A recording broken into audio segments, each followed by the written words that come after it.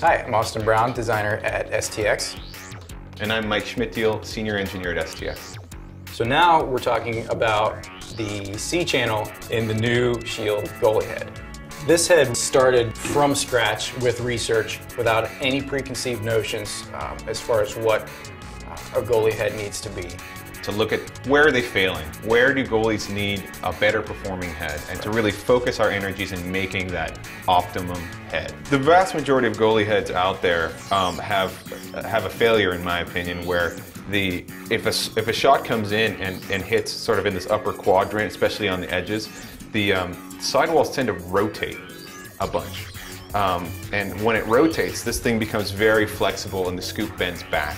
So a hard shot can actually hit the scoop and bend back and allow the ball to go into the goal. Obviously not what a goalie wants. So what we did here in using this C-channel application is we've created a section in here which is very torsionally rigid.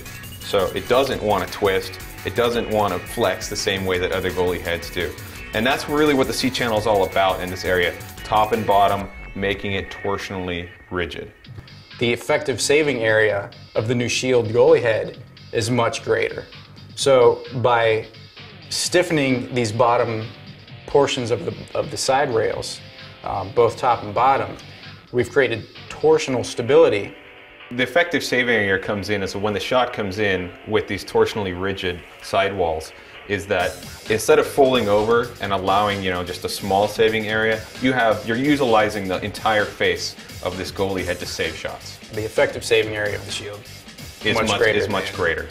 To follow everything up and to bring even more benefit to all these things that we're incorporating into the head, um, outlet passing was also a real big focus of ours.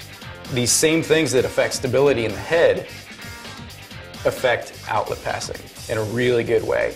As that goalie's making those long outlet passes, those quick outlet passes, the head's going to be stable. It's got stability in the bottom, flexibility in the scoop. So as that goalie goalie's making that snap, the head's going to want to narrow up a little bit. And that's going to channel the ball. A couple other unique features about this is um, the Shield has a great hand grip area down here. Um, it's perfect for a goalie to, uh, to hold in his hand and have a you know great firm grip on, on the throat.